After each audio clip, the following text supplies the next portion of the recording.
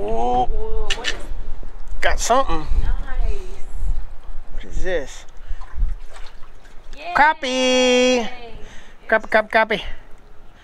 Took your minnow and it was swimming away. Yeah, it sure was. I heard this was dead. They in here. You're right, right up on the current. Put that back down there. What do you think? Still got a little kick in him. That does not look like a keeper though.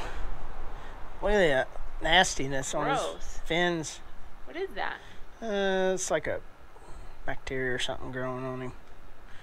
Well, thanks, bud.